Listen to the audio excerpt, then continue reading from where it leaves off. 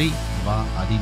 Bună ziua, bună seara, bună dimineața, oriunde ați fi și încă vă mai uitați la chestia asta. Bun venit la o nouă ediție a podcastului de weekend, episodul al 29-lea.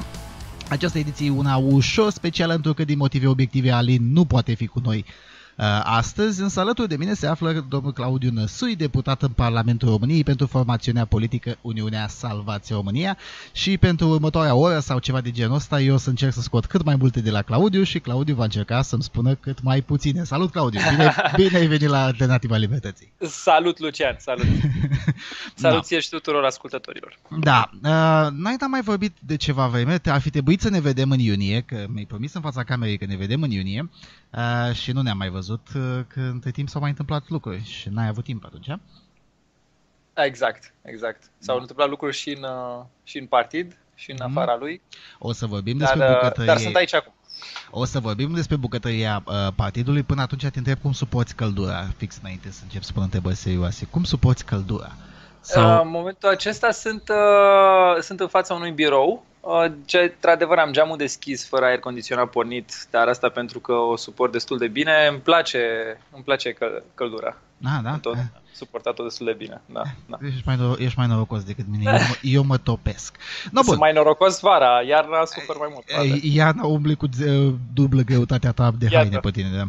Uh, na. Uh, ultima dată când am vorbit în martie, când am venit eu la București, erai încântat de un proiect de lege depus pe subiectul plăților cu cardul. Vrei să ridici plafonul, mă rog, tu de fapt ai uh-huh. vrut să-l abolești ca și mine de altfel, dar exact. mă rog, atâta să putea. Ce s-a mai întâmplat în zona aia de atunci? Uh, în zona aia nu s-a mai întâmplat nimic pentru că a venit vacanța parlamentară. Uh, de atunci însă uh, a trecut de Senat acel proiect cu un amendament foarte interesant care întoarce lucrurile taman pe dos. Uh-huh. Adică băieții de la PSD și de la ALDE, care au inițiat și ei acest proiect de lege, deci l-am semnat împreună cu ei, au făcut un amendament prin care pragul nu doar că nu mai crește de la 10.000 la 50.000 cum era prevăzut în proiect, rămâne la 10.000 și au mai băgat obligația pentru încă cineva uh, angrourile să aibă POS. Evident că toate angrourile au deja POS. Au Acum fiecare doar aia, ca să zică aia da, adică nu, e o, e o prostie. Nu, dar și legea asta e o prostie în sine, că înainte când era cu pragul la 100.000, toată lumea care are 100.000 cifre de afaceri în retail avea POS, adică era extrem de greu să găsești pe cineva cu o cifră de afaceri mai mare fără POS. Ideea lor a fost să-și uh, bage produsul pe gât la toată lumea și evident motivând un interes public pentru chestia aceasta, anume uh, nevoia de a uh, dreptul de a plăti cu cardul sau nevoia de a putea plăti cu cardul oriunde. Mm. Evident că argumentul ăsta nu ține, adică același argument ar putea fi aplicat la o groază de alte servicii și lucruri pe care nu le găsim, hai să-i obligăm pe oameni să ni le ofere. Da, na. Da, știu cum uh, e exemplu atunci cu uh, periusele de dinți. Uh-huh. Uh, da, și să înțeleg, deci Camera Deputaților o să fie cameră decizională. Da, în general, foarte multe proiecte de lege sunt cu Senat primă cameră sesizată, Camera Deputaților decizională. Mai de, alea de educație sunt invers, sunt mhm. Senatul mm. e decizională și puține, puține mm. lucruri sunt invers. Mm. Da. da. Ai uh, speranțe să reușești să uh, schimbi... A trecut, da, a trecut deja de două comisii. Deci, practic, el are un proces de. intră prin niște comisii avizatoare, uh-huh. care contează mai puțin. Uh, având în vedere amendamentul cu care a plecat de la Senat, anume asta care repune pragul la 10.000 de euro, uh, o colegă de-a mea, Cristina Prună, uh, cu care colaborez foarte bine și pe foarte multe proiecte, aproape pe toate proiectele pe care am lucrat, Uh, a introdus amendamentul și a trecut și în Comisia de Industrie și Servicii și în Comisia de IT uh, ca pragul să vină la, la 50.000, adică așa cum era ea în versiunea ei inițială. Bătălia mare se va juca la Comisia mea, uh-huh. unde acolo depinde cu ce raport o să plece și aici va fi, va fi greu, pentru că asta e comisia de raport și asta să zicem că chiar contează. Uh-huh. Bătălia mea e aceeași, pentru mai puțină birocrație și mai puține reglementări stupide care să ne... Uh... Să ne facă viața mai grea. Da, da. pentru niște lobby-uri care, hai să fim serioși, că au, au bani, adică nu e ca și cum uh, suferă sistemul bancar. Da, au bani, au clienți și exact cum spuneai tu, oricum când da. ajungi da. la un anumit nivel ca, în calitate de comerciant, uh, oricum îți pui POS. Exact, uh, pentru că are sens de business. Are mm-hmm, exact. pentru că oferi un serviciu pe care îți dai seama că pierzi poate clienți sau și pierzi vânzări dacă nu ai. Uh, și mai e un lucru pe care l-aș menționa. Reprezentanții Asociației uh, Procesatorilor de Plăți și Bancare, această asociație APERO, mm-hmm. care susține și face lobby pentru acest uh, proiect, Uh, pur și simplu vine în Parlament și ne minte. Deci ne minte, ne spune că, de exemplu, produsul lor e gratuit că POS-urile sunt gratuite.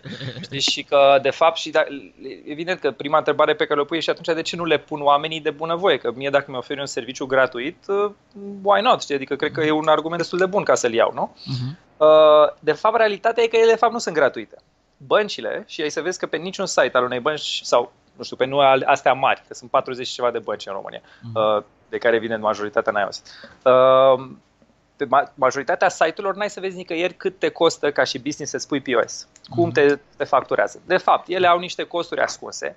Fie un, o comision de administrare care, din ce am auzit și am dat telefoane și am văzut, e pe la 50 de lei pe lună. Uh-huh. Da? Deci 1200 de lei pe an. Da. Uh-huh. deci, Foarte gratuit. Da. Foarte gratuit, da. Uh, și plus comision de tranzacție, care poate să fie mai mare sau mai mică în funcție de dacă îl plătești pe ăsta fix sau nu. Dacă nu îl plătești, e mult mai mare. Dacă îl plătești, e mai mic, pentru că mai ai un comision BNR la el. Uh-huh. Și alte bănci și mai șmechere ca să zică că e totul gratuit. N-ai nici comision de fix, n-ai nici comision de tranzacție, superb, nu? Uh-huh. De fapt, îți fac altă găselniță. Te obligă, îți, îți deschizi un cont în care îți vin banii, da? Uh-huh. dar de fiecare dată când tu vrei să-i folosești de acolo, banii tăi pe vânzările tale, uh-huh atunci te comisionează. Deci te comisionează la când scoți banii din contul acela. Adică, practic, da. dacă, dacă vrei să-i folosești, să-ți folosești banii pe care îi încasezi, atunci te comisionează și îți zic în față că e gratuit. Uh-huh. Deci astea sunt găselițe din astea contabile de a-și pune marja altundeva, uh-huh. doar ca să prezinte lucrurile într-un fel favorabil. Și Bine, foarte multă lume pune botul și, și pică la, la chestia asta. Bine, chestiile astea cu bă, subvenționare bă, încrucișată, cross-subsidization, se practică peste tot. De exemplu, în uh, telecom, Telecom ai întotdeauna modemul gratuit și ai, nu știu, 50 de bani în plus uh-huh. la factură, la internet sau ceva de genul ăsta. Uh-huh. Nu e neapărat un lucru rău că există modelul nu. ăsta de business. Rău, nu. e, rău e când te pretinzi că nu există. Exact. Problema e că ei folosesc lucrul acesta ca pe un argument pentru a modifica o lege uh, în aș, sau mai degrabă a menține modi, o lege modificată în sensul în care au modificat-o anul trecut, uh, pentru a-și conserva un privilegiu. Uh-huh. Obligația de, din partea statului către comercianți să le cumpere lor serviciu. Uh-huh. Uh-huh. Deci eu, eu nu critic modelul de business, mie chiar îmi place modelul ăsta de business și este un model de business care îți duce la gratuitatea foarte multor lucruri. Da, adică clar. toate chestiile astea de tipul uh, free refills, cum e în Statele Unite, sunt uh-huh. o groază de restaurante care au free refill, cumperi o singură dată cola, apă, ce vrei tu, bine, uh-huh. nu whisky și mm-hmm. poți să uh, ți le recași de câte ori vrei. Practic, el își face marja pe altceva în momentul ăla. Adică eu nu am absolut nicio problemă cu modelul de business. Problema e de argumentație și problema e de, de scopurile lor care nu sunt ok. Da, că dacă modelul ăsta de business n-ar fi folosit să modifice legi, el pe ansamblu e pozitiv. Da, de, ex- de exemplu, inclusiv prețurile, la că am dat exemplu cu modemurile, păi dacă uh-huh. până să apară modelul ăsta de business în telecom, un modem costa de la 150 dolari în sus în România. În prezent, yeah. cumperi modem cu 8 dolari, 10 dolari, era 30 de lei am văzut. Modem care acum 2 ani era 100 de dolari. Știi? Dar și, uh, și în industria consolelor, de exemplu. Și la, fel, la un da, moment dat exact, că da. Sony pierde cost variabil cam 200 de dolari cu fiecare PlayStation vândut. Uh-huh. Tocmai pentru că ei își fac marja apoi pe jocuri și pe produse adiacente, servicii adiacente pe, pe care le iau da. odată ce omul are deja PlayStation în casă și e mult mai ușor să, uh-huh. să le folosească și să le ia de acolo. Deci uh-huh. e chiar foarte mișto modelul acesta. Free-to-play-ul, toate uh-huh. jocurile care au apărut free-to-play pe internet, Candy Crush și toate astea, uh-huh. gratuit, dar dacă vrei să faci ceva extra, cumperi nu știu ce uri uh-huh. din joc. Uh-huh. Adică, na, it's a... It's a trade-off. Da. It's a trade-off și e unul care există foarte mișto pe piață. Problema e când e utilizat ca argument în policy pentru a spune o minciună, anume că lucrurile sunt gratuite. Lucrurile nu sunt gratuite. Mm-hmm, da. Marja se face altundeva. Rămânem în subiectul ăsta cu bă, legi. A apărut între timp situația asta cu contribuțiile CAS ridicate la nivel de leafă full-time și pentru contractele part-time. Uh, ai uh, ori tu personal, ori partidul uh, Uniunea Salvați România ceva în plan, o contestație la CCR, de exemplu, sau ceva de genul ăsta? Păi da, dar atenție, noi nu putem contesta la CCR. Noi ce putem face și ce am făcut este să rugăm avocatul poporului să conteste la CCR și să-i dăm argumente în sensul acesta, lucru pe care l-am făcut. Uh-huh. Ordonanțele în țara noastră nu, nu pot fi atacate decât de către avocatul poporului. Este o mare problemă uh. legislativă de procedură și noi putem, trebuie să ne rugăm de omul puterii ca să contestăm actele puterii. Ei s-au folosit de chestia asta fiecare dată. Prima oară vestită dată când s-a întâmplat chestia asta a fost la Marțea Neagră, dacă mai ții minte, când da, au da, da o săptămână au schimbat totul. Și singurul lucru, loc în care se puteau opri schimbările alea era fie bunul lor simț care nu prea există și în materie de putere nu te poți baza pe așa ceva, fie avocatul poporului care era tot numit de ei și care n-a făcut, uh, n-a mișcat niciun deget. Mm-hmm. Acum avem aceeași chestie. La UG13 era aceeași chestie, dacă mai ții minte, că lumea se ducea, mm-hmm. făceau manifestații, se duceau la avocatul poporului. Mm-hmm. De ce? Pentru că era singurul care putea să conteste ceva, să facă ceva, știi? Mm-hmm. A încercat procuratura atunci, dacă mai ții minte, că au început ei o anchetă că scot ăștia legi cu dedicație. De mm-hmm. parcă sunt mhm. primele astea legi cu dedicație. De Alea economice sunt 99% toate. sunt cu dedicație. sunt toate deci, cu dedicație, da. da. da. adică let's face it. Și în materie de, de munca part-time, noi am blocat-o, noi USR, uh, ca și partid, uh, am blocat-o odată exact la comisia mea. Deci ei au încercat să bage munca asta part-time, impozitarea ei, printr-un amendament la o lege. Mm-hmm. Deci tu dacă vrei să dai rapid o modificare de legislație, poți fie să dai o UG, dar e vizibil, tam-tam mare și nu știu ce, fie să trecori un amendament pe un act normativ care oricum trece acum în, care trece în dezbatere, e, se întâmplă să fie în dezbatere. Uh-huh. Evident că e bine ca acel act normativ să aibă treabă cu ce faci tu, adică dacă tu reglementezi pădurile și bagi acolo chestii spre codul fiscal, o să-ți sară toată lumea în cap și nu, ce puțin nu s-a produs chestia asta, deși teoretic e posibil. Uh-huh. Uh, ei s-a întâmplat ca tocmai atunci să fie în dezbatere un OUG dat de guvern la, la începutul anului uh-huh. și l-au pus acolo ca și amendament. Noi am auzit că se întâmplă chestia asta, ne-am agitat și la nivelul uh, interacțiunii cu ceilalți colegi din comisie, din majoritate și uh, în dezbaterile de la comisie din momentul acela, eu am prezentat pe Facebook lucrurile acestea și a fost blocat, adică n-a, n-a trecut. Și era culmea, deci fie regulamentul comisiei spune că pot adăuga amende, amendamente numai membrii comisiei. Corect. Era un amendament, de exemplu, cu care nu venise niciun membru al comisiei, venise Ministerul Finanțelor. Și am zis, păi și ce faceți aici? Și a zis un psd a, păi ni le însușim noi. Și erau și psd care nu erau de acord cu chestia asta, știi? Și ce care noi? Păi îl însușesc eu. Bine. Și apoi începe, ci că, dar îl susține Ministerul Finanțelor. Păi cum să nu-l susțină? Că ei îl propuseseră, adică era o chestie de genul acesta și până la urmă nu le-a mers prin amendament și atunci au dat o UG. Dar trebuie să menționez un lucru, că spre deosebire de forma cu care ne-am luptat din care venea în amendament, care era exact aceeași formă a modificării ca cea care a fost pusă în dezbatere publică, cea a trecut e puțin mai light. Mhm. Adică, mm-hmm. în prima, primul dată, ei ce au încercat să facă este în felul următor. Dacă tu ai uh, patru, să zicem, patru joburi cu câte două ore mm-hmm. pe mhm. fiecare, da? pe primul ești impozitat cât pe 8 și pe mhm. celelalte nu mai ești, ești impozitat cât pe 2. Da? Mm-hmm. Pe când în versiunea asta ultima au zis așa, bă, dacă tu cumulat ai 8 ore, ești impozitat doar 8 ore. Mm-hmm. Adică nu mai, practic, e puțin mai, puțin mai bine. Dar tot, da, e, dar, dar tot e aiurea, că dacă am două joburi de, de câte două ore, de, de, de ce să da, plătesc pentru... la salariu minim, atenție, mm-hmm. deci practic la salariu minim full-time. Mm-hmm. Pentru că ei de fapt ce fac? Exact ca și prostia asta cu TVA split pe care vor să o facă acum și văd că sunt căpoși și o să o facă. Uh, imediat ei, de TVA split. Ei, toată lumea e considerată infractor. Deci da. absolut, ei, pentru că ei nu pot să-și facă treaba, mă rog, ei de fapt pot să-și facă treaba, dar necesită mult prea mulți oameni ca să verifici mult prea mulți oameni. Și mm. ANAF chiar dacă are 25.000 de oameni, deci 25.000 de oameni. Nu sunt suficienți oricum. Da. Nu sunt suficienți pentru milioane de, de contribuabili. Da? Uh-huh. Și atunci uh, ei au nevoie de one size fits all-uri din astea uh-huh. și există o școală în Ministerul Finanțelor și în ANAF când zic o școală, e un curent de gândire în da, sensul o școală de gândire. Uh, da, da, adică există și o școală de fin- pentru finanțe care e total inutilă, dar mă rog. Uh, adică efectiv o școală, știi? Da, știu, știu, știu. Uh, da. uh, care efect, au gândirea asta că, băi, nu contează cât de mult încurcăm economia, cât de mult uh, distrugem procesul de creație și inovarea și toate mhm. astea, contează să combatem evaziunea, cu orice preț. Dacă mhm.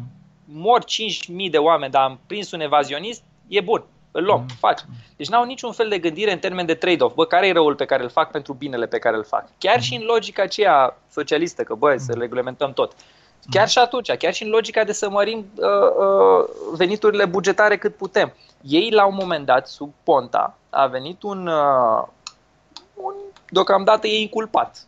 Vom vedea, un președinte al ANAF-ului, care e mhm. sub cercetare penală, Gelu Diacon, mm-hmm. care a început un jihad fiscal, mai țin minte, era știu, știu, știu. Închideau. Deci, practic, ei se duceau se la... pentru doi bani în plus în casă. doi bani în plus în casă. Da, da. Chiar și oameni care erau, aveau afaceri super vizibile, deci șansele ca ei să fie onești sunt mari, pentru că cu cât ești mai vizibil, cu atât vrei să ai totul în ordine. Adică probabil că mai ai niște mici nereguli, niște chestii uh, mănunțișuri, dar pe fond ești ok. E, îi închideau pe ea și atunci statul nu-și mai lua nici și mai lua înainte. Mm-hmm. Și argumentul oamenilor ăstora din Ministerul Finanțelor pentru a susține genul acesta de politici este că ei, uh, în codul fiscal, nu au principiul oportunității. Mm-hmm. Deci pentru ei e doar să, să combată și atât. Nu contează care sunt uh, costurile combaterii, dacă de fapt e, te costă mai mult ca stat să le combați sau nu it doesn't matter. Ideea e să, uh, să dăm unii. Da, și, și atunci ai aceste din... one size fits all-uri. Da, și plus că care... multe din cazurile alea au rămas blocate prin instanțe, bă, te, te judeci o grămadă pentru... Aia care au avut acces la, la un avocat, Corect. că majoritatea oamenilor, ai sincer, și antreprenorii sunt oameni practici. Dacă mm-hmm. te costă mai mult un lucru decât îți, îți aduce beneficii, nu-l faci. Mm-hmm. Și această practici, adică pe noi ca nu știu să zic, uh, sociologi, filozofi politici, nu știu cum să ne numim, noi doi, de exemplu, mm-hmm. care ne interesează problemele sociale, uh, ne enervează atât de tare încât am merge până în pânzele albe, probabil, cu un Corect. proces. Dar un antreprenor normal își zice, bă, cât mă costă, cât, uh, cât ca beneficiu, lasă-i dracu, m-au închis, asta e, fac altă prăvălie, mai descurc, îmi asum costurile. Mm. Și asta e, cumva e absolut normal pentru ei să gândească în modul ăsta, pentru că mm la, în business e un bottom line care contează, dar este Absolut. tragic pentru economie și e tragic pentru societate, că practic puteam fi, asta ce înseamnă de fapt, că puteam trăi mai bine, puteam fi mai bogați și nu suntem. Și nu suntem din cauza unor idei care sunt în capul unor oameni care sunt în funcție de conducere, în executiv. Mm-hmm. Da. Na, bun. Uh, întrebare de la un fan fix pe asta. Cum, cum vezi TVA-ul split, TVA-ul defalcat și uh, fanul care se întrebare insistă că nu e interesat neapărat de poziția USR, cât mai ales a ta personală? Păi, uh, coincide, cele două coincid, deci să zic ca, ca mea. Uh, asta e, iarăși, e aceeași optică, de toată lumea e, e infractor. Și asta se va aplica, evident, la ăia care sunt deja Uh, plătitori de TVA și în vizorul ANAF-ului și toate alea. Că la care făcea evaziune, ce split să fac? Ăla nu face mhm. oricum niciun split to begin with. Da? Mhm. Deci iarăși vedem pe toți ca pe infractori, o suprabirocrație. Uh, nu s-a mai aplicat de facto nicăieri. Deci singurele exemple pe care le avem așa sunt Polonia care vrea să le aplice opțional din 2018, deci nu o facem, opțional și din 2018. Italia obligatoriu pentru companiile de stat. Păi eu dacă vrei să o faci la companiile de stat, go for it, mm-hmm. do it. Oricum, ca e o cauză pierdută din Cui alte pasă, da, aia, exact, da. Adică Uh, și ce, ce face? Îți dublează tranzacțiile. Deci tu de fiecare când faci o plată, nu mai faci o singură plată pentru cineva. Îi dai 100 de lei și încă 19 în contul lui din trezorerie. Uh-huh. Iarăși, dacă... Uh, deci chestia asta presupune... Îți dai seama câte chestii se, se vor întâmpla de acolo. Dublu comisioane bancare, bine, ei zic în lege că o să fie gratuit. Iarăși, de, uh, da, chestia bine. asta cu gratuit înseamnă că banca își face marja altundeva. Oamenii nu înțeleg chestia asta imediat. E ca și TVA-ul. Ia impresie că doar consumatorul plătește TVA-ul. De fapt, se parte între cei doi. Orice taxă se împarte între doi oameni, că pui contabil la unul sau la altul, tot economic vorbind în funcție de elasticitate, fie la unul, fie la celălalt. Mhm. Uh, fie, adică parțial. Nu mhm. știu, probabil 80, 20, 50, 50, whatever. Uh, și ce fac este că acum încearcă să combată frauda asta cu TVA, care oricum se întâmplă la un nivel atât de mare și este cu un spate atât de gros încât nu o să reușească. Ce o să reușească în schimb să facă este să sece firmele de bani. Pentru că banii pe care îi utilizau firmele în day-to-day operations până să trească să plătească TVA, mă refer la uh, contributorii onești, da? care își plăteau TVA-ul la termen și așa, ei nu o să-i mai poată folosi, că o să fie blocați în contul acela. Deci, de fapt, tu ești taxat cu TVA-ul instant. Uh-huh. Deci, cum ai avut o tranzacție, practic, ești taxat cu TVA-ul. Uh, o să nască deci, probleme de cash flow pentru business-uri care o să apeleze evident mai mult la bănci, deci al doilea profit al băncilor, odată cu comisioanele mai mari, că se fac mai multe tranzacții, de fapt nu mai mari, mai multe, uh-huh. că se fac dublu, orice tranzacție se dublează, uh, și a doua oară pentru că o să îi le sece pe astea de bani și astea ca să aibă cash flow ok și să poată să-și acopere nevoile de plăți, uh, o să la linii de credit. mai mult la linii de credit, la uh-huh. facilități overdraft, așa mai departe. Uh-huh. E, și o birocrație imensă apoi ca să scoți banii de acolo. Pentru că tu, și aici Gabi Biriș, care na, e we have our differences, dar pe chestia asta are 100% dreptate, adică îi dau 100% dreptate. Uh, imaginează-ți scenariile de plăți greșite. De da. exemplu, am două plăți de făcut. Am, în loc să dau 119 în contul, 100 în contul tău, 19 în contul tău de la stat, am dat invers, 19 și 100. Tu de fiecare când vrei să-ți utilizezi banii aia din contul de la stat, care nici nu, că nu sunt considerați banii tăi, sunt considerați banii statului cumva, trebuie să ceri la ANAF voie. ANAF-ul pune-te în pielea inspectorului la ANAF, care trebuie să-ți aprobe scoaterea de bani. Păi ăla trebuie să zică, păi dă-mi o analiză să văd că de fapt chiar era eronată plata, că chiar nu era nu știu ce. Analiză înseamnă un mini-control fiscal. Uh-huh. Exact așa cum se întâmplă acum când îți cer banii de rambursare de TVA, un control uh-huh. fiscal. Uh-huh. Deci pentru fiecare operațiune pe contul ăla, tu va trebui să ai un fel de mini-control, fiecare greșeală care se făcut de acolo. Sau alt caz, tu faci o plată acum, da? Uh-huh sau ți se, uh, uh, uh, faci, ai, ai tranzacții, hai să zicem că ai tranzacții, da? Plăți și intrări și ieșiri. Și una dintre facturi nu ți se plătește. Nu știu, mai factura pe mine. Mi-ai, sunt client, dar din 15.000 de motive eu n-am putut să-ți plătesc banii. Se întâmplă foarte frecvent, da, mai ales da. în România. Mm-hmm. Uh, asta nu înseamnă că nu ți dau deloc, dar nu ți dau la timp. În schimb, TVA-ul, tu pe 25 ale lunii următoare trebuie să-l plătești la stat. Mm-hmm. Ăla trebuie să-l dai. Ca să nu ai penalități și toate acestea, să zici că îl dai din banii tăi după ce trece timpul ăsta, îl plătesc eu, vin și îți dau bani. Mm. E, trebuie să-i dau un contul acela.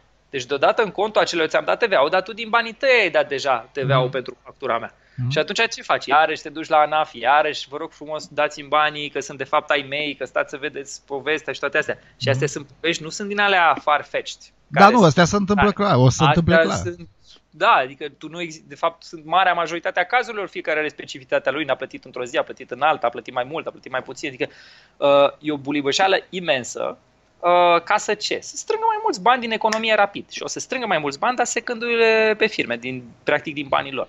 Bă, și, și pe termen mai lung asta scade până la urmă în casele genul ăsta de măsură. clar, clar. Clar, păi și a, a, îți, îți distruge economia, îți scade capacitatea de uh, uh, să fii competitiv. În plus, o să răb- iarăși o genul de măsură care îi favorizează pe mari, care poate să aibă un sistem informatic mai clar, care să-și gestioneze toată treaba asta, o relație instituțională cu ANAF-ul, pentru că și-au angajat consultanți care de fapt au familie, au nu știu ce, care lucrează la ANAF și au mm-hmm. pârghile de negociere, ușile deschise cum trebuie. Adică mizeria acestei măsuri este, este, foarte, este foarte mare. IMM-urile clar vor suferi cel mai mult. În da, special IMM... IMM-urile nu sunt publicul lor țintă. Clar, nu, pe nu îi interesează chestia asta. Pe mm. publicul lor țintă, dacă te uiți, sunt mai ales mediul rural, oamenii care au ajutoare sociale, oamenii care uh, sunt la pensie, polițiștii, oamenii care lucrează la sat, bugetarii. Asta îi interesează mai mult. Da. Uh, colegul meu, Alin, care astăzi din păcate nu poate fi cu noi, uh, îmi mă întreba fix chestia asta, că vorbeam mai devreme de avocatul poporului, că numai el poate. Uh, există vreo modalitate prin care partidul din care faci parte să uh, uh, să uh, uh, forțeze într-un fel de... Alin întreabă în ideea că dacă ies parlamentari și fac scandal că Ciorbea stă pătușă când ar trebui să se implice, poate controversa apărut ar putea grăbi procesul într-un fel de debarcare, de schimbare măcar a individului. Acum, sigur că tot puterea îl va numi, dar poate numește pe cineva care stă mai, mai rar pe tușă când ar trebui să nu stea. Păi, ce interes ar avea? Adică tocmai că un om, adică tu ai schimba un om care ți-a demonstrat loialitatea? Că ăla dacă stă pe tușă, practic face ceea ce vrei tu ca el să facă. Mm-hmm.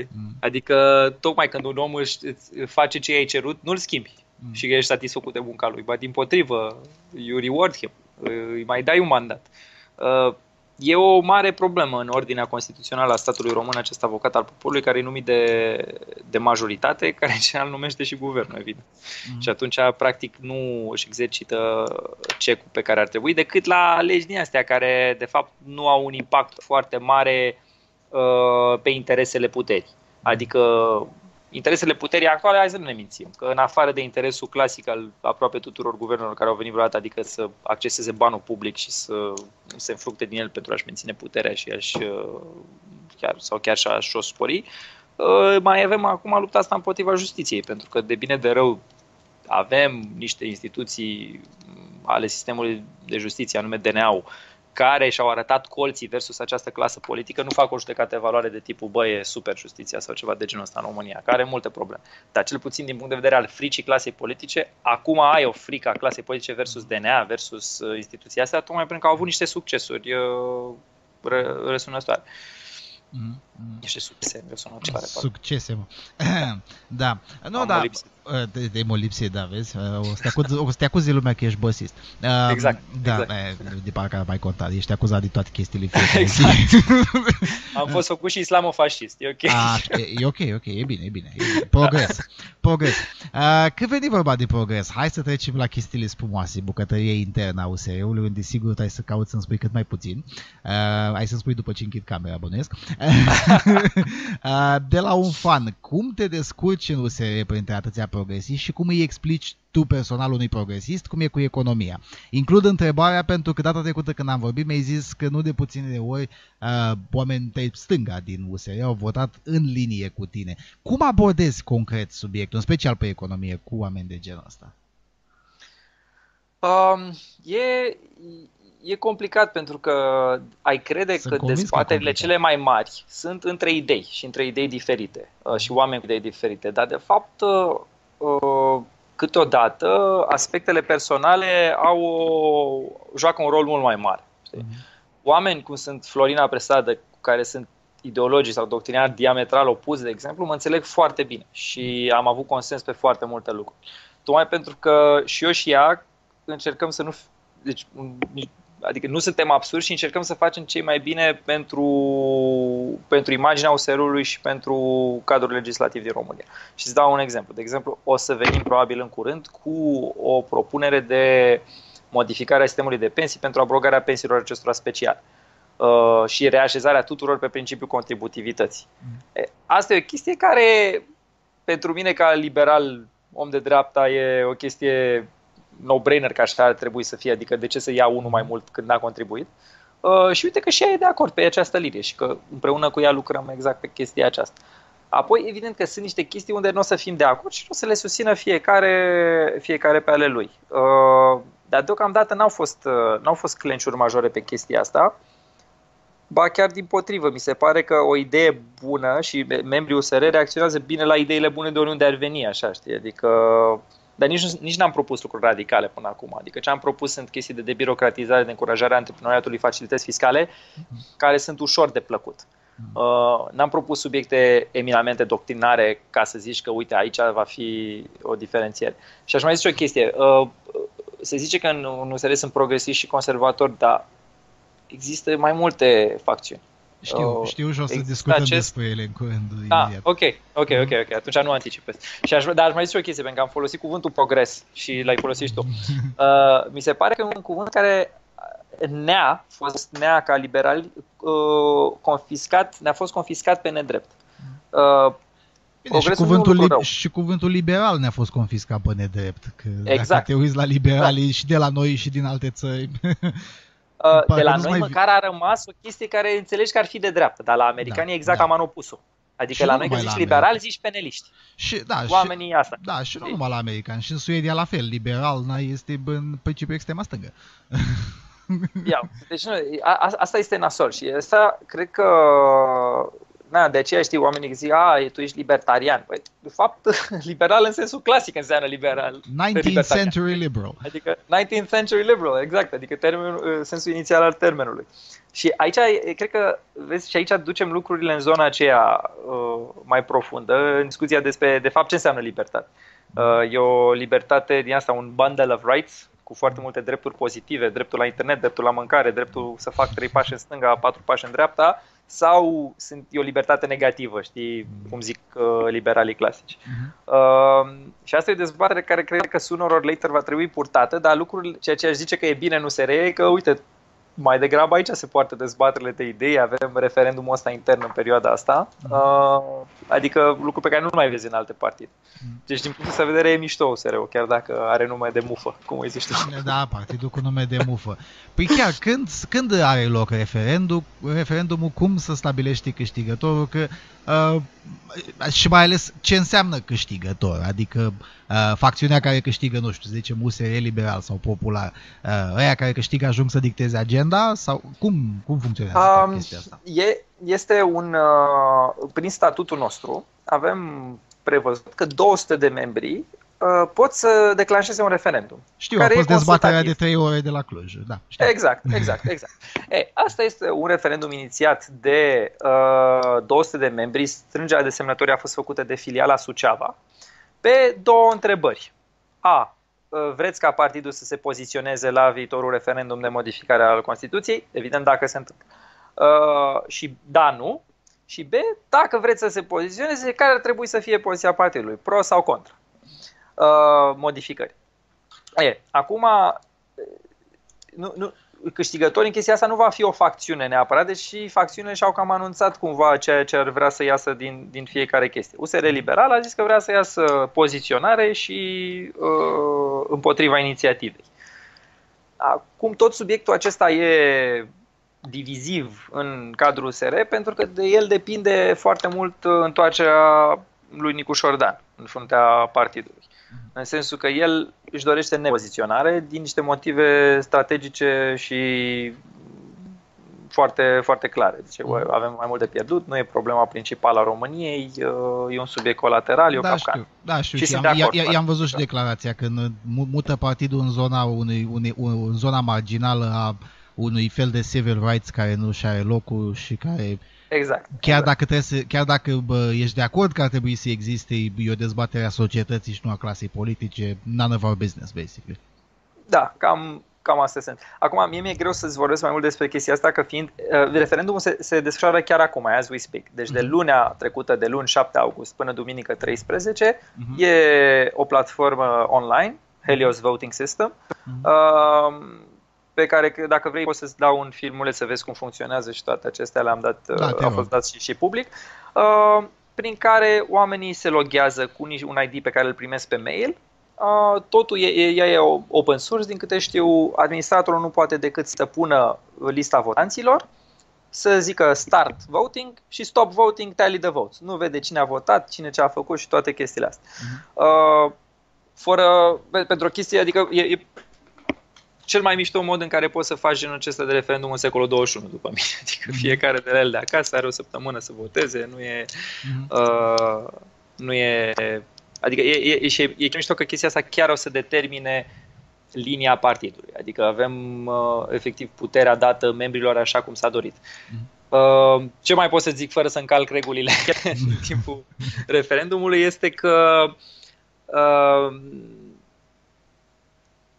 genul acesta de referendum e consultativ, deci odată oricare ar fi uh, rezultatul. care iese, trebuie ca forurile de conducere partidului, anume Biroul Național, să, să-l adopte sau nu. Deci, practic, dacă cineva face referendumuri de trolling, să presupunem că cumva ar exista 200 de membri care vor să uh, să vă troleze. Să urce partidul, pur și simplu, o să-și facă referendum, o să voteze nimeni la el sau așa. Adică motivul pentru care acest referendum e foarte important și mediatizat este această întoarcere al Nicușor uh, Dan sau nu. Dar uh, alte, adică dacă, dacă se gândește cineva că asta ar putea fi un mod de a deturna USR-ul, e greșit. Că el e consultativ și dacă faci unul de trolling, uh, probabil că n-ai să ai nici vormul de 50% ca să fie valid. Uh-huh. Deci, acum, în momentul acesta, el știu că s-a depășit cu mult 50 la pragul de 50%, deci cu siguranță va fi valid din punct de vedere al vormului. Mm-hmm, mm, am înțeles.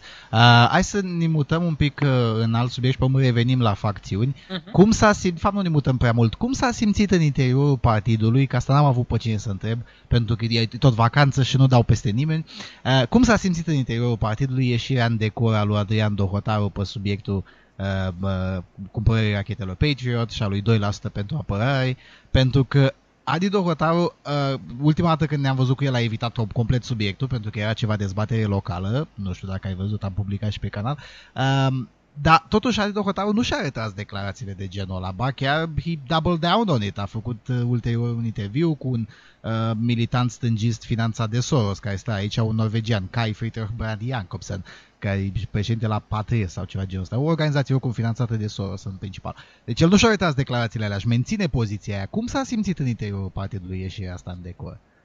Măi, acum Noi pentru că ești parte partid, din birou național și sigur ai da. avut de-a face cu subiectul. Păi chiar în ziua aceea am o ședință de birou național, s-a dat un comunicat oficial, chiar la câteva ore după ce a dat el mesajul pe Facebook, am avut eu personal, pe pagina personală, o reafirmare a principiului 2%. Uh, noi, inclusiv legea bugetului de la începutul anului, n-am votat-o printre altele și datorită argumentului acesta. Deci noi și ca partid, la, la nivel de vot, efectiv, uh-huh. și la declarații politice am susținut chestia asta.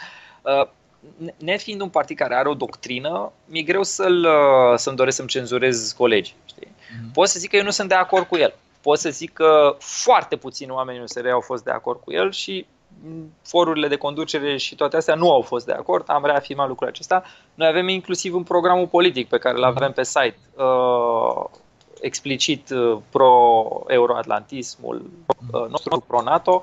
Apoi dacă mă întreb chestii de finețe de tipul sunteți pentru o armată europeană unde, na, there's a debate, uh, Urma să mă întreb chestia asta. Pot să zic că nu am opoziția partidului, eu nu sunt pe zona de armată, nici de politică externă, sunt doar pe zona financiară mai degrabă specializat, uh, dar personal nu susținem nimic care ar putea să ne îndepărteze de NATO.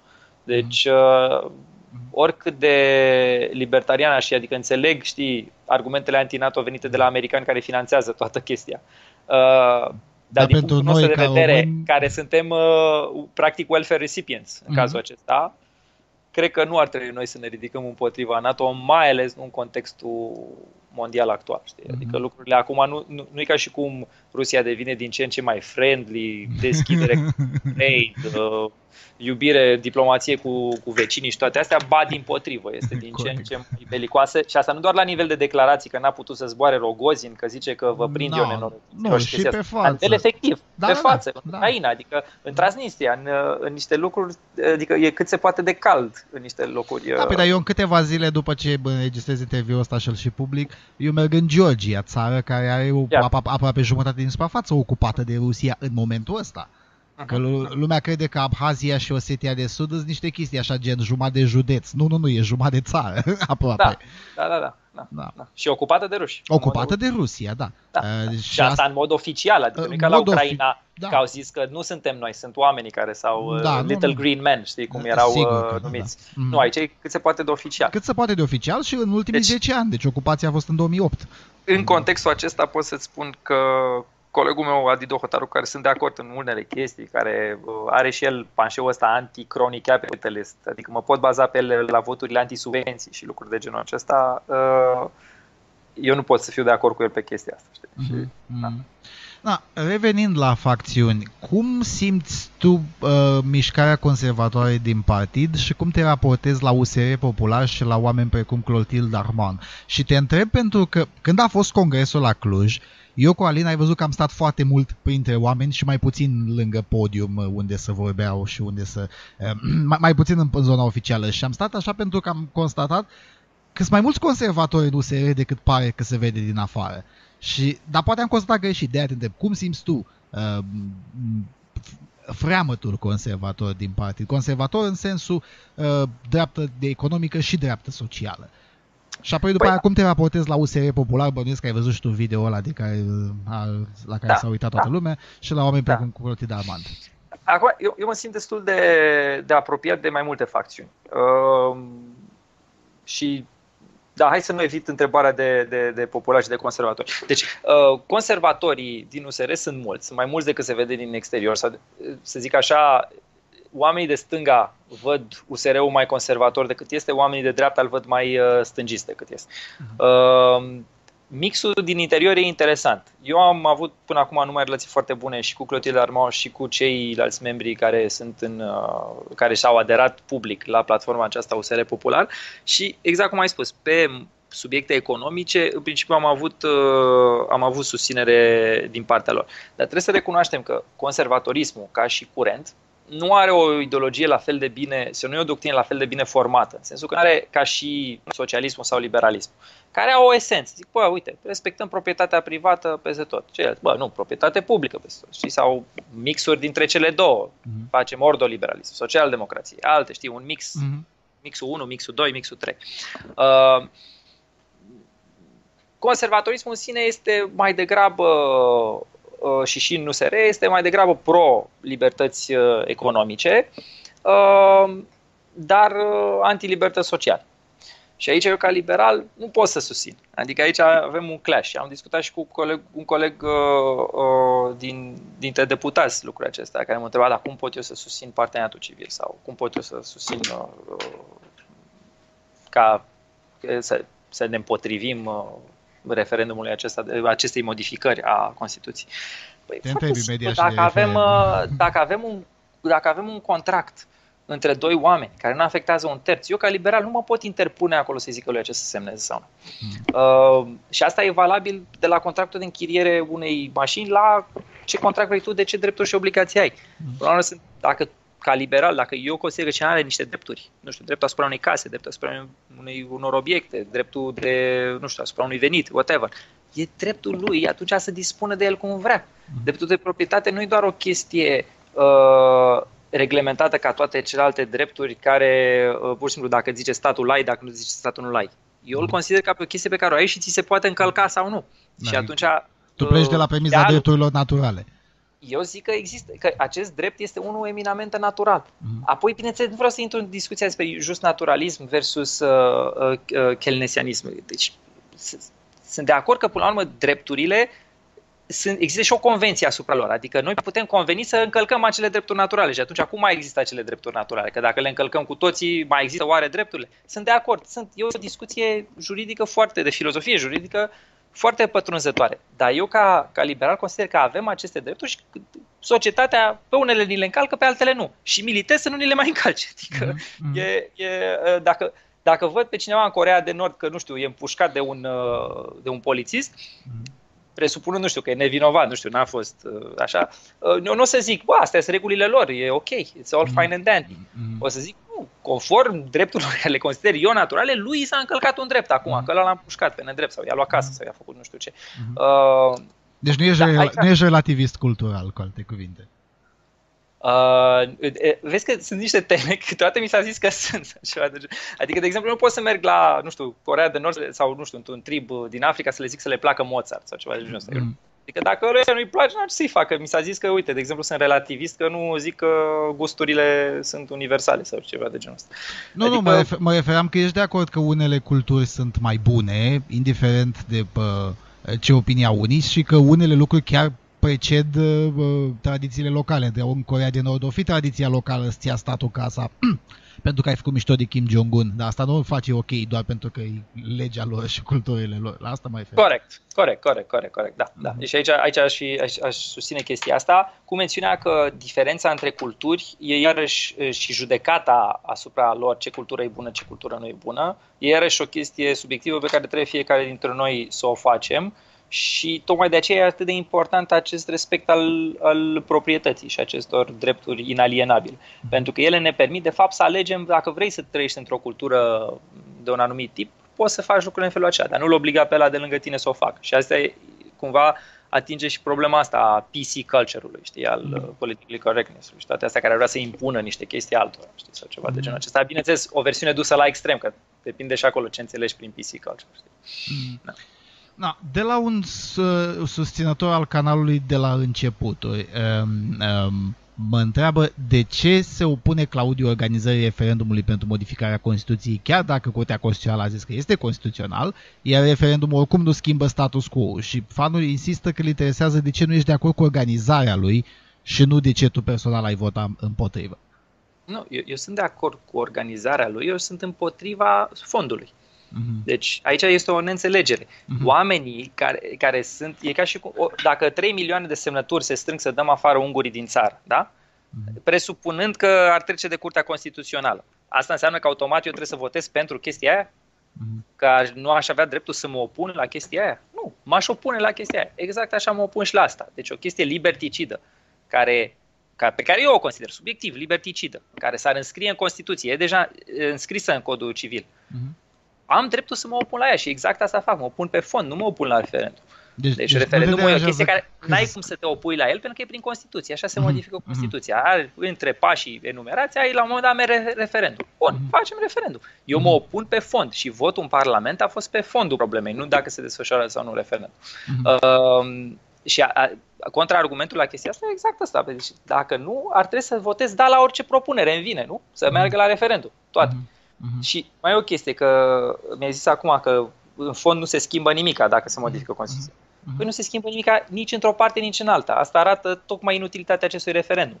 Orice ar ieși după acest referendum, că iese da, că iese nu, la modificarea Constituției, gay marriages sunt în continuare ilegale în România.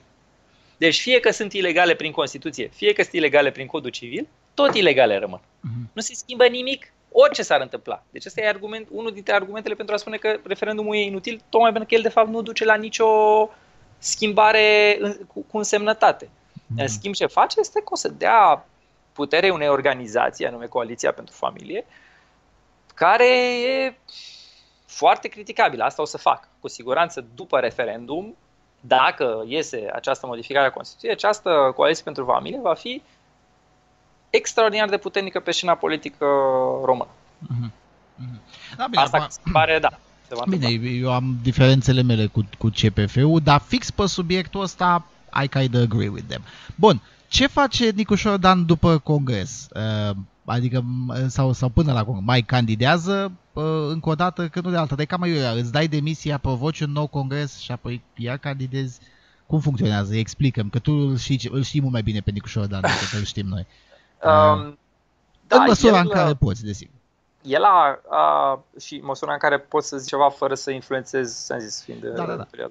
Uh, el a considerat că lucrul acesta este o, o promisiune făcută de USR, anume să nu ne poziționăm pe subiectul acesta.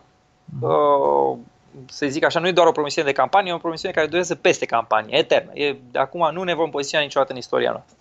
Și atunci a, a, a ales calea aceasta pentru a-și marca dezaprobarea cu decizia aceasta a biroului permanent și a, și a partidului de a se poziționa pe tema, pe tema referendum.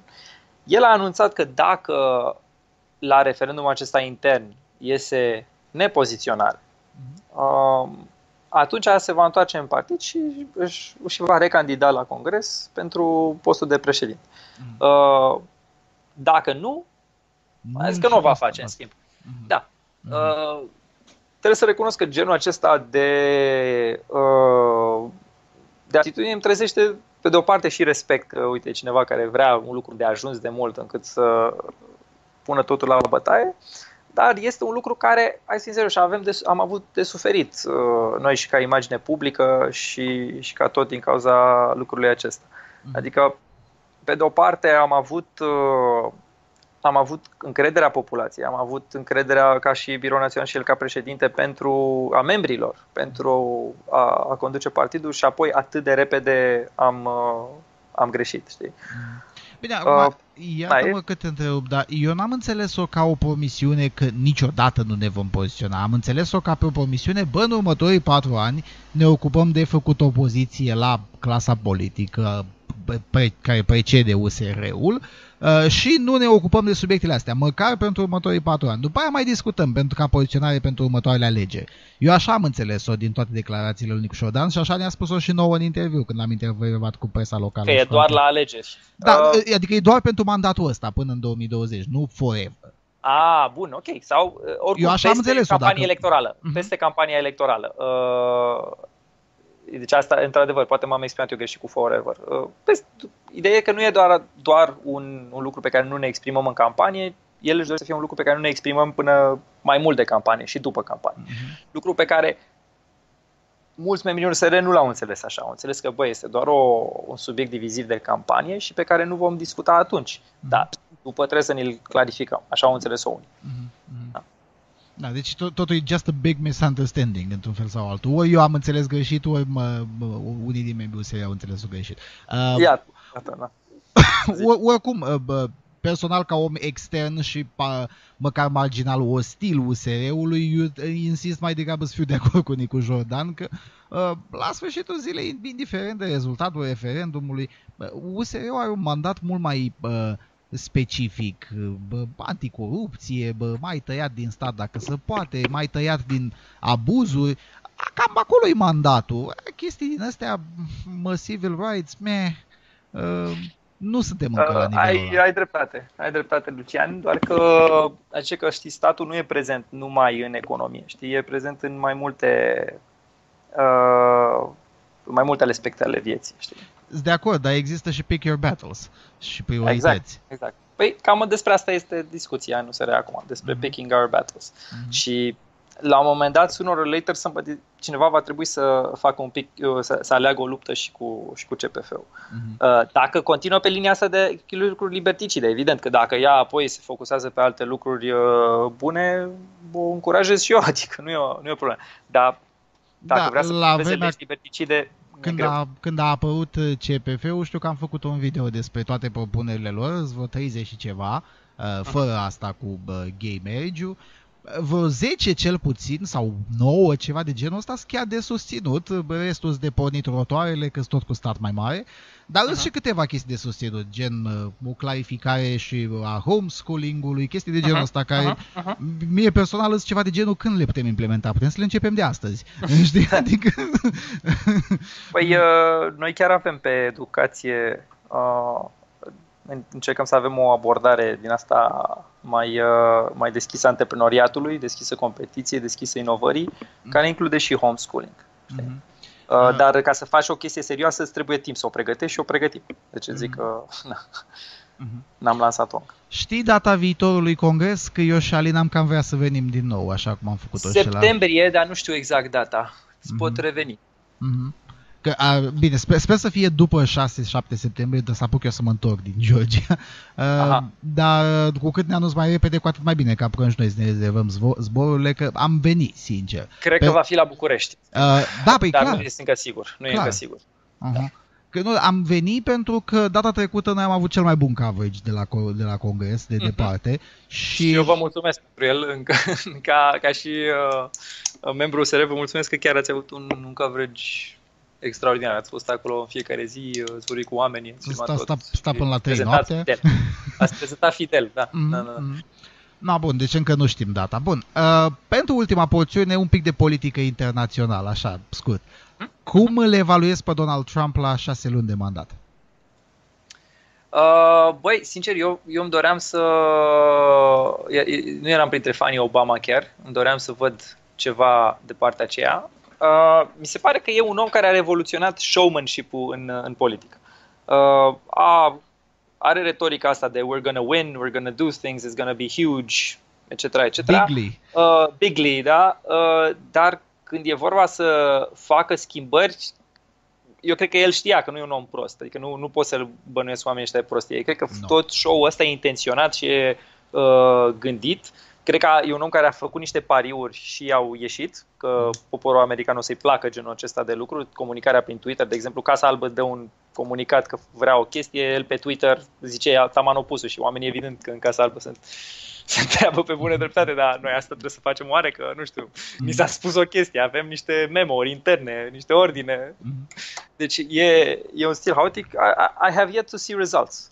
Deci nu, nu văd. Uh, Înțeleg că vrea să scindeze Partidul Republican sau că oricum continuă pe, pe linia aceasta. Ceea ce dintre noi fie vorba, Partidul Republican are nevoie de o reformă pentru a se mhm. regăsi, adică de la Big Government Conservatives, cum era George W. Bush, uh, un pic, un de, un, un pic de îndepărtare de... din zona aia poate n-ar strica. Exact, n-ar strica, dar întrebarea e dacă îndepărtarea va fi din zona aia sau va fi înspre zona aceea, pentru mm. că repet, I have yet to see ceva concret de la ea. Mm. Uh, a fost, a fost un lucru pe care l-a făcut, pe care l-a și propus și în România. Problema e că e o reformă strict de formă și nu de fond. Chestia aia că pentru fiecare reglementare nouă să se desfințeze două altele. Uh-huh. Uh, sună mișto, doar că ce se întâmplă, ce, ce, rezultatul chestiei este pur și simplu o reformulare a ceea ce există. Știi? Adică nu mai fac 40 de articole, fac 20 de articole și cam aceeași conținut îl bag în, în Dar să știi că aia a început uh, deja să se aplice și au dispărut deja reglementări, adică vedeam un... Au... Mi se pare că de la American Enterprise Institute uh, au dispărut reglementări în valoare de vreo 30 de miliarde pe an, adică totuși nu e rău. Uh, și uh, uh, sunt, sunt de acord, dar uh, aș mai zice un lucru, că e, e genul de lucru care ai, ai avea impresia că se va înjumătăți reglementarea, mm-hmm. dar nu se va înjumătăți. Și mai e o chestie, că unele reglementări pe care le face statul nu sunt rele. Sunt mm. nume reglementările acelea care ți apără proprietatea. Mm. Adică totuși nu suntem într-o uh, lume libertariană. Asta într-o lume în care uh, organele de stat fac, uh, fac regulile, ordinea și toate acestea. E, în contextul acesta, dacă este, sunt norme de poluare, de exemplu, norme mm. care să-ți uh, limiteze posibilitatea de a-l afecta pe ăla de lângă tine, fără ca ăla să-ți poată cere compensație și toate alea. Nu alea sunt regulile pe care vrei să le abolești. Știi? Mm. Uh, deci, a, apoi, într-adevăr, dacă sunt alte reguli, nu le știu eu pe toate, deci nu am cum, nu, nu am urmărit decât din postura asta mai depărtată administrația. Eu am urmărit mai în detaliu.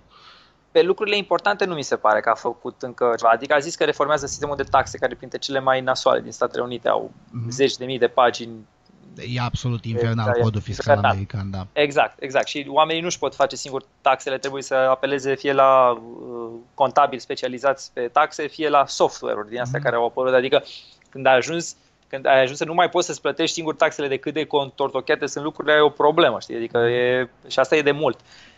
Asta a fost, de fie, la fiecare campanie americană s-a zis de chestia asta, se numește tort reform. Mm-hmm. Uh, să reformeze uh, codul fiscal și toate astea, și alea să le bă la federal și alea de stat și toate astea. Uh, n-a făcut-o nimeni până acum. El, în schimb, e primul care vorbește de asta și post-campanie, ceea ce mă bucură, sau primul. Primul care vorbește mai mult, că vor mai fi vorbit și alții, dar asta pare că vrea să facă ceva în direcția aceasta. Aștept, aștept o victorie, aștept it to be huge, știi? pentru că altfel văd chestii de tipul protecționisme, care nu o să facă bine nici Americii și nici uh, restul lumii. Da.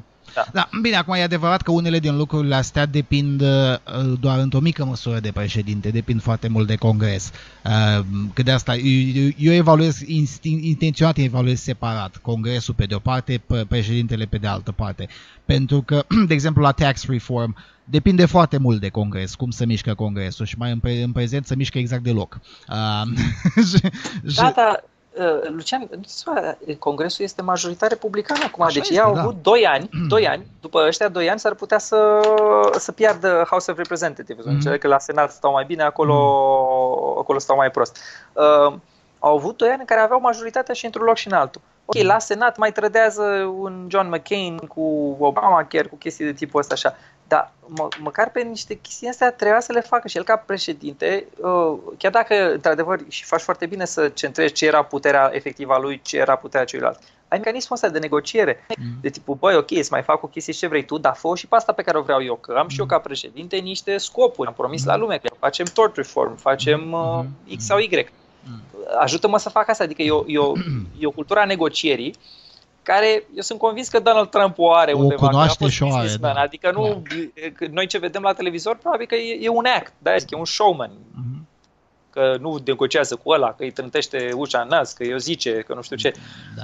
Omul totuși a fost om de afaceri și a făcut, uh, mă rog, a pornit bogat. Uh, da, da, adică... Și ce dacă, da, a devenit și mai bogat. Adică... A, a devenit și mai bogat. Bine, citam undeva că dacă investea toți banii pe care i-a primit de la, din moștenire în uh, S&P 500, deci dacă avea un portofoliu cu 100% equity, aș fi fost și mai bogat chestiile astea oricum sunt, uh, știi, judecăți la expost. Dacă băgam toți banii în Bitcoin, cât bani aveam acum, știi? Mersi. Da, nu? da hindsight is 2020. Da, în da. hindsight, exact, exact, exact. Nu, deci eu nu-i contest uh, meritele acestea. Nu cred că e un om care nu știe să negocieze, uh, dar cred că e un om care s-a înhămat la prea mult și he has yet to deliver on his promises, știi? Mm.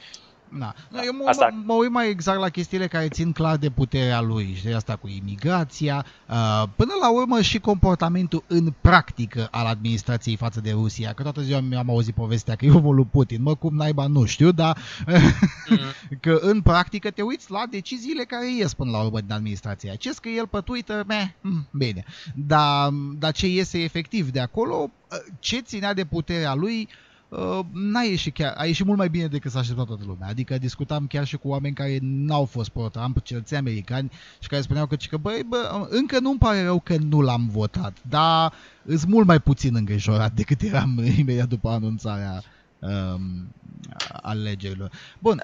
Uh, Adevărul e că Statele Unite mai au și un sistem de check and balance-uri solid, adică nu e ca la noi, că așteptăm după Ciorbea să mm-hmm. facă ceva.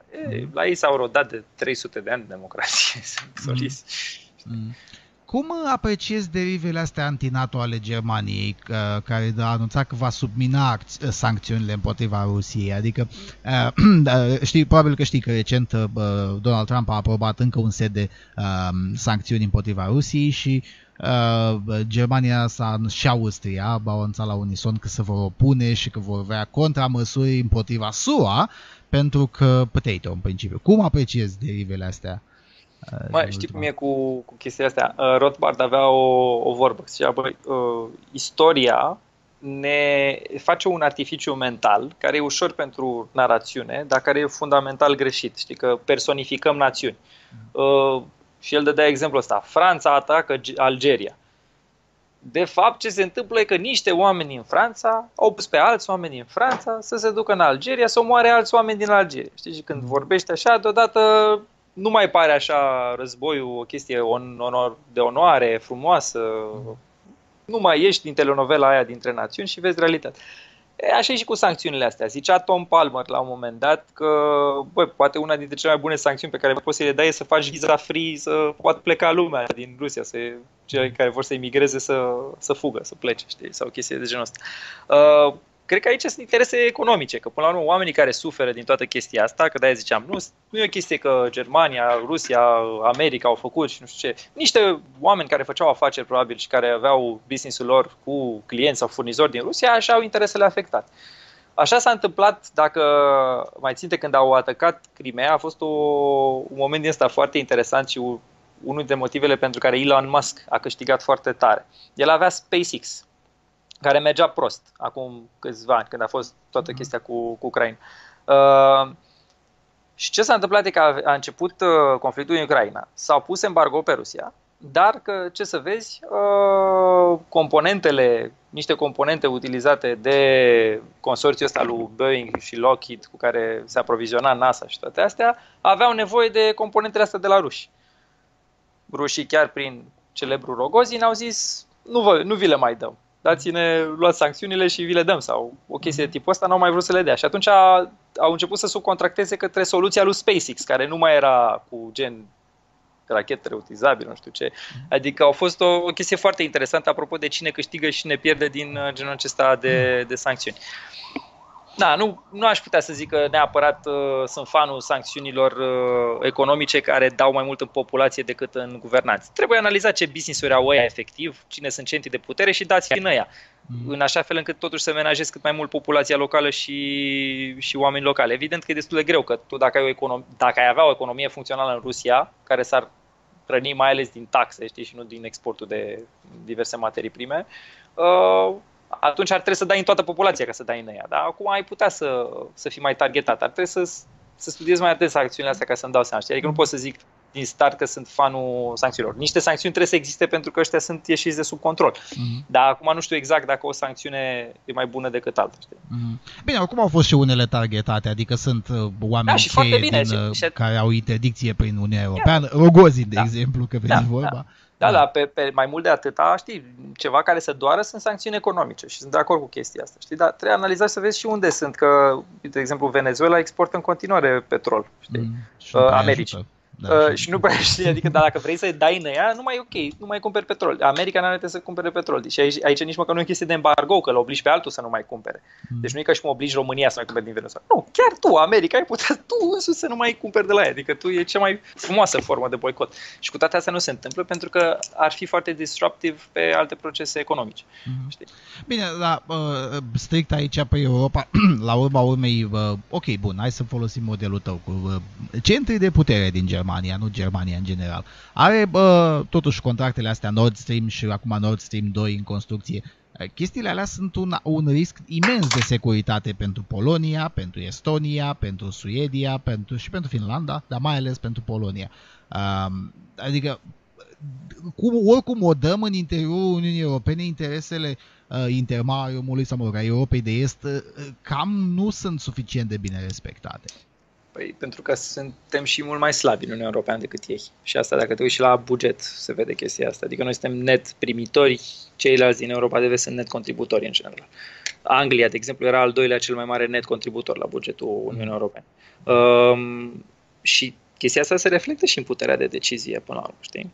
Uh, atenție, că ai menționat de proiectele astea, nu, nu sunt fanul lor. Uh, și sunt fanul unor, dacă tot ai statul care se bagă în infrastructură și care îți face lucrurile, uh, măcar să diversificăm, adică atunci, dacă ai statul care se bagă, deodată ai o dimensiune politică și dacă ai o dimensiune politică, haide să ne diversificăm sursele, adică încă o conductă care merge pe la ruși, care vine de la ruși, It's not a good idea, știi? Aș fi preferat alternative. Ceva prin uh, Azerbaijan, prin Iran, da, prin Turcia. orice altceva. Ori, mm. Până că și prin Iran, da. Adică mm. ideea e să fii diversificat, că acum natura a lăsat resursele într-un loc. Ok, liniile politice nu s-au trasat în funcție de asta.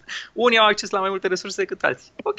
Mm. Na, dar să ai, uh, it makes business sense să fii mai diversificat puțin, știi? Mm-hmm. Or, să nu spui toate uh, ouăle în același coș, în esență. Exact, exact, exact, exact. Mm-hmm. Și dacă tot ai statul care se ocupă de chestia asta, măcar să se ocupe în stilul ăsta, știi, în cel mai rațional stil la care te-ai putea gândi, adică să nu mai facă încă o conductă cu aceiași oameni, ci poate una nouă cu alții. Mm-hmm. Da, deci uh, nu sunt fanul proiectelor ăsta, tipul Nord Stream 2, dar mm-hmm. uh, na. Aș aminti o chestie că la noi, în, în țară, industria gazelor e este, este destul de bine. Uh, avem uh, na, strict, pentru noi, noi, da, strict pentru noi ca români avem cel mai puțin de îngrijorat.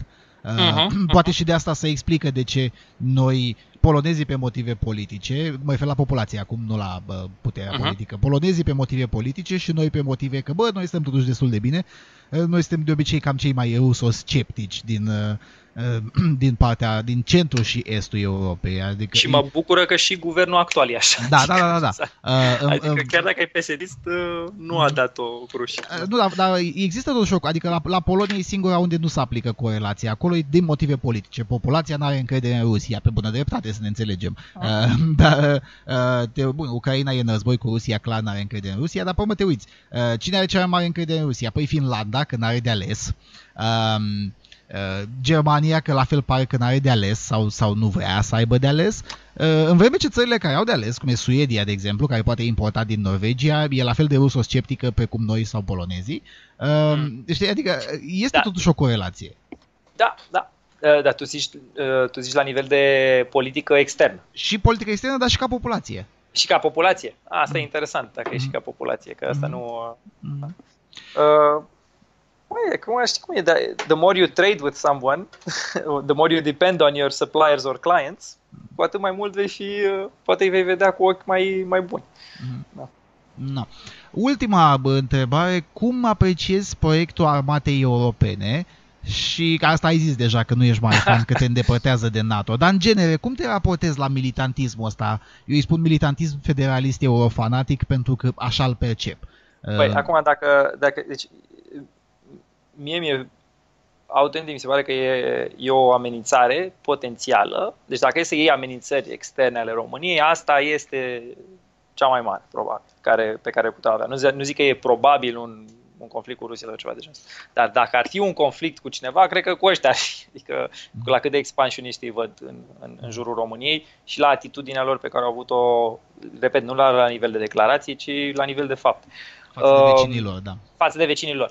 Uh, nu, nu, sunt, nu sunt în aria mea de expertiză aici, nu sunt împotriva uh, înarmării, sunt pentru 2% pentru apărare, tocmai că acel 2% nu se dă nici în cazul României, sunt pentru apropiere de NATO și acum problema cu, Uniunea, cu armata Uniunii Europene este dacă lucrurile astea ne-ar depărta sau nu de NATO. Ea aș dori să existe într-un cadru NATO, adică aș dori să fie o chestie în care pur și simplu ne asigurăm securitatea mai bine. Era zicala aia, dacă vrei pace, pregătește-te de război. De război da. Cel mai sigur mod în care să fim vreodată ocupați e să fim ușor de ocupat. Dacă mm. ești scump de ocupat, ești înarmat, ai, ai provoca pierderi mari, că, și citam la un moment dat o, o opinie că nu avem nevoie de rachete Patriot, că oricum nu opresc rușii. Păi, așa nicio chestie unică probabil că nu oprește o armată cum e cea a Rusiei. Da? Mm. Doar că le face ocuparea mai grea, mai costisitoare. Le, îi faci să se gândească, bă, hai să nu mai trecem prin România, trecem pe altundeva, că acolo e jal. Mm. Adică tu orice poți să faci este o, un element disuaziv. Mm. Ceva nu o să-ți garanteze că nu te atacă nimeni sau că nu că câștigi război. Niciun război nimeni nu se poate garanta că îl câștigi. Da, dar un conglomerat mai mare de ceva e mai bun e, decât... Exact, exact, exact. Și de-aia zic că principalul lucru, deci mai tare decât rachetele Patriot, sunt alianțele pe care le avem, știi? Mhm. Adică, uh, că până la urmă, știi, orice armată poate să câștige, poate să pierde, dar dacă e mai mare, dacă sunt mai multe țări, dacă sunt mai multe fronturi, dacă există o cooperare internațională din asta mai mare, atunci șansele să să, să avem pace, pace în, în libertate, atenție, nu pace mm. sub uh, Uniunea... da, nu pace cu orice cost. Da, exact, deci nu pace în sclavie. Pace mm. în libertate e, e mai mare. Știi? Mm-hmm. No. Și, și în genere, cum te raportezi la militantismul ăsta federalist? Ultima dată când am vorbit am discutat numai strict pe economie, tu ai că ești partizanul monedei naționale. Dar, în genere, există, uh, chiar dacă a mai scăzut în intensitate, în parte din cauza crizei refugiaților, mă rog, a imigrației în masă ilegale, că ea nu refugiați nu sunt, uh, dar chiar și așa, în continuare există un push din ăsta de păi, uh, dă mai multă putere birocrației centrale bruxeliene. Cum te raportezi la chestia Bine, asta? acum și NATO va ține, ține de o birocrație centrală, că amândouă sunt totuși mm. armate de stat. Da, da, da, da, da NATO, care... de exemplu, nu caută să-mi pună mie lege antifumat. NATO nu-l interesează dacă am votul legal în țară sau nu. Adică, știi, NATO e o chestie pe care o înțelegem toți, băia da, da. militareala. Da, dar, că... dar Uniunea Europeană caută să-și obțină putere în zone în care n-a trebui, sau mă rog, în care statutar nu trebuia să obțină. Uh, pentru că Uniunea Europeană, până la urmă, era o, o convenție economică, uh, într-o imensă măsură. Libertatea bunurilor, capitalurilor, mărfurilor și a persoanelor. Da. Lucian, să știi că și aici poate să fie o, o mișcare care nu care dublează Uniunea Europeană, știi? Mm-hmm. În sensul, uite cum e Schengen. Mm-hmm. Poți să fii în Uniunea Europeană, dar nu în Schengen sau mm-hmm. alte mm-hmm. tratate din astea. Era o diagramă din asta cu toate mm-hmm. țările. Unele sunt zona euro, unei mm-hmm. sunt în UE, nu sunt în euro, unii sunt în euro și în UE, etc. Poate fi o armată europeană care cu aia care vor să face pe lângă Uniunea Europeană și să nu-ți impună legea antifumat, să nu-ți impună chestii mm-hmm. de genul acesta. Mm-hmm. Deci, poți să, you can envision it. Și eu, condiția pe care aș pune la chestia asta este da, dar să nu ne îndepărteze de, de NATO. Mhm. Adică să nu pună cumva, să nu se spună, băi, uite, o luăm pe asta și renunțăm la cealaltă sau să ne mhm. ducă în direcția aceea. Mm-hmm. Și cred că asta e esența și de-aia oamenii care se împotrivesc unei uh, armate uh, europene, în sensul ăsta se împotri, s-ar împotrivi. Mm-hmm. În sensul că nu că le e frică că ne atacă italienii, ne băgăm în armata europeană și ne atacăm între noi sau ceva de genul ăsta, ci în sensul în care ar putea să ne îndepărteze de altă alianță care și-a demonstrat deja efectele. Și de-aia mm-hmm. eu zic că da, aș nu, nu sunt contra, uh, nu, sunt, nu e nici aria mea de expertiză ca să încep acum să mm-hmm. argumentez de ce aș vrea una sau alta, dar de principiu, la nivel de principiu și la nivel de alegere politică, și contra orice ne îndepărtează de NATO. Mm-hmm. Știi? Mm-hmm. Adică dacă ne poate chestia asta, se poate înfăptui și noi să fim mai puternici în NATO și să avem o alianță NATO mai puternică, sunt de acord. Dacă asta înseamnă o slăbire față de SUA și care, let's face it, că pe armată sunt mm-hmm. liderii mondiali de departe și mm-hmm. o mhm. garanție a protecției mult mai bună decât pare Uniunea Europeană, Corect. atunci nu. Știi, dacă mm-hmm. ne depărtează, nu. Mm-hmm. Bine, să nu uităm că armata europeană totuși e inițiată de o țară care plătește 1,2% pentru apărare și împreună cu alte două țări din nucleu care au 1,1 și 0,9. Adică, da. știi, mai e și detaliul ăsta care totuși contează. N-ai fost, în stare, să, n-ai fost în stare să ajungi la 2% în NATO, dar ai să-ți faci tu armată europeană. Ea nu. Da. Deci asta, asta apropo și de credibilitatea oamenilor care da. susțin un policy, știi? Adică mă, măcar americanii, they put their, their money where their mouth is. A, da. Au pus their money where their mouth was. De adică au zis, bă, NATO o facem tare și da, asta, atenție, le asigură și lor un cloud politic Absolut. internațional imens. Absolut. Adică dacă vin americanii la noi, nu știu, corporațiile americane pe drepturi de autor și toate astea care fac niște măgării imense la nivel mm-hmm. internațional. Mm-hmm. Da, ele și-au puterea și prin faptul că fac lobby acolo la cel mai înalt nivel și acel nivel are o influență imensă în tot restul lumii, știi, pe toată mhm. planeta. Mm-hmm. Da. da. No, bun. Păi cam atâta deocamdată, că dacă ne întindem foarte mult uh, după aia, ori nu se mai uită lumea, ori bă, și bănuiesc că mai ești o altă treabă, deși în principiu azi nu-i zi lucrătoare, deci nu-i chiar Nu, de e, să știi că mi-am rezervat timpul pentru tine, deci mm. e ok. Da, mulțumesc, da, mulțumesc. Uh, ar, fi, uh, ar fi bine dacă uh, ai avea mai, mai des posibilitatea, pentru că, uite, da, se mai întâmplă, nimeresc eu în București, n-ai tot timp, uh, ai tu timp și n-am eu timp, uh. e, e mereu aiurea. Că de un an de zile tot zicem că bă, să facem Știu. măcar o dată la 3 luni și ne iese o dată la 6. Că... Uh, păi uite, am avut, câte am avut? În, uh, stai așa, că n-am avut, că am, din Stai decembrie și până acum suntem a treia, deci da. suntem în luna 8 da, da, Cam da. așa a fost, cam la 3 luni. Mm. Aproape chiar mai puțin, că 9 luni septembrie avem 9 luni, deci mm. ok. Uh, dar da, mi-aș dori să le facem și eu mai, mai des. Mm. Uh, ți-am zis, sună-mă, scrie uh, sunt, uh, sunt deschis. No, bun. Uh, și sper că ți-am răspuns la întrebări, că ai început emisiunea prin a spune că o să încerc să nu răspund. O, sper că am răspuns. Da, bă, acum, na, sigur, imediat după ce închid camera o să te mai întreb chestii pe care, pe care nu, nu pot să le pun pe... Uh, dar, bă, da, nu, într-o, într-o mare măsură, dar înțeleg că ești limitat deși de detaliu, mai ales la cele privind bucătăria internă a partidului, sunt, înțeleg că ești limitat de uh, regulile uh, interne din pe care mi le-am asumat pe care ți le-ai asumat, voluntar. Da, sigur că Trebuie da. să le urmez. Da. da, sigur că da, sigur că da. Uh, no, bun. Cu acestea fiind spuse, îți mulțumesc încă o dată că ai uh, venit la podcastul meu. Uh, mulțumim, mulțumim tuturor care să vă uita slash vor asculta. Și cu acestea fiind spuse, uh, ne vedem curând. Servus! La revedere! Bun. Uh, deci nu știi când e... Treabă-mă pinul la casă. nu,